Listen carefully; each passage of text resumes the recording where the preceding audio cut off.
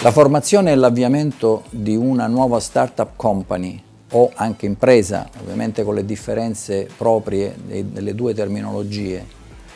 e sono assolutamente assimilabili ad un project. E in quanto tale per eh, la loro definizione, per la definizione sia di un'impresa che di una startup, può essere di assoluto ausilio l'utilizzo di metodologie tecniche di project management, quali ad esempio l'analisi e la valutazione iniziale, la gestione degli stakeholder, la valutazione dei rischi, la cultura degli economics, la, il saper eh, fare pianificazione di tutti gli elementi indispensabili a, ad avviare, unitamente a quelli che sono i due strumenti, chiamiamoli così, propri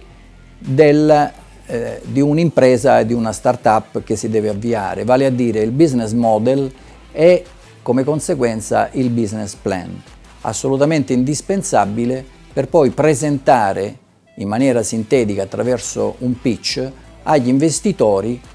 l'idea e la sostenibilità di questa nuova impresa, in modo da ottenere eventuali finanziamenti e quindi poter avviare dal vivo questa nuova impresa. In tutto questo percorso sufficientemente articolato, abbastanza difficile, abbastanza complesso per chi non è ovviamente abituato ad essere un imprenditore,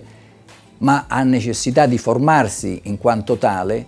l'associazione Virgilio 2080, un'associazione che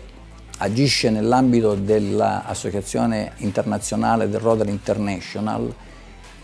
che mh, può essere di assoluto supporto ai nuovi start-up